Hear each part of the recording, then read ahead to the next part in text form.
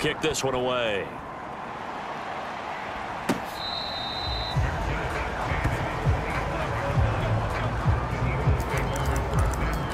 The Eagles just about set to go to work on offense. And on the last go-around, they really couldn't get anything going. They had to punt from deep inside their own territory, which means you're going to lose the field position battle as a general rule. What they're looking for now is a little... Well, Mahomes can't get away, and down he goes. Michael